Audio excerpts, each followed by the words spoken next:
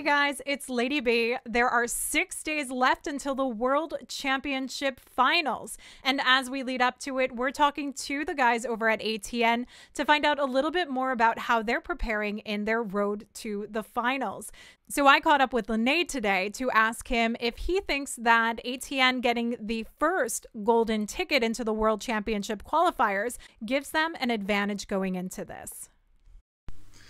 Um, I think it was more to being in a comfort zone than a real advantage because, um, yeah, we could play all the year, a little bit less, spend more time with us family and not doing all the qualifier every month. So it was really great for that. But in another hand, it's actually really risky because, yeah, we could have stepped down competitively, but as you know, that's not what we have done. So I hope we will be able to show you that in the World Championship of Gates Attacks.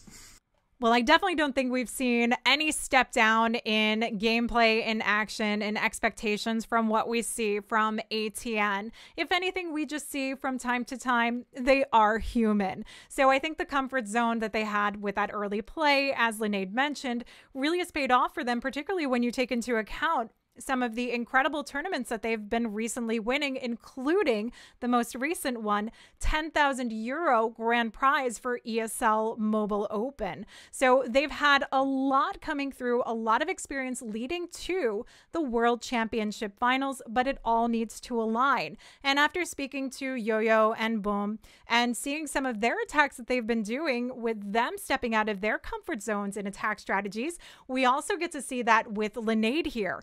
Now, is a resident hybrid attacker. He loves his queen charge hybrid and he's one of the best at it. But we can also see that he can also translate that queen charge into other attack strategies, including this incredible queen charge drag attack. And this is the ATN that I want to see coming through into the World Championship finals, a team that's ready to adapt to what needs to be done and still come through with flying colors. And it's the three stars that are going to matter here, which is exactly what Lenaide pulls through. So Lenaide's been hitting at about an 81% hit rate through the various leagues so far.